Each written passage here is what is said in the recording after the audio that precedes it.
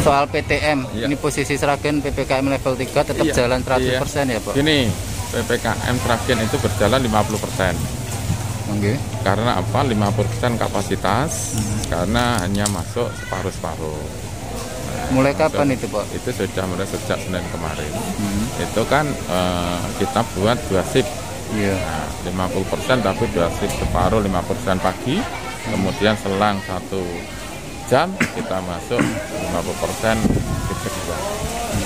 Ya, intinya kita bisa bertemu setiap hari, tetapi durasi jumlah kita kurangi, durasi waktu kita kurangi. Pak penekanannya ini kan situasi kasus kan masih naik terus. Ya. Nah untuk PTM agar Ini- bisa ini akan- aman, bisa aman kami memang menerapkan dengan eh, prokes yang sangat ketat betul.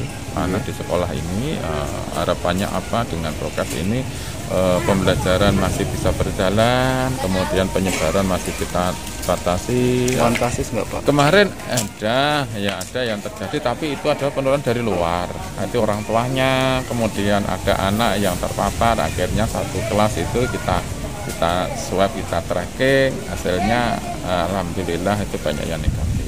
Kemarin kalau satu kelas itu kurang dari 5% yang kena itu ada satu kelas itu adalah untuk di PJJ kan SD atau SMP Pak? kemarin ada sampai SMP di wilayah sampai Sragen Kecamatan? kecamatan Sragen waktu itu yang tapi ini alhamdulillah sekarang sudah masuk itu yang yang sudah beberapa minggu yang lalu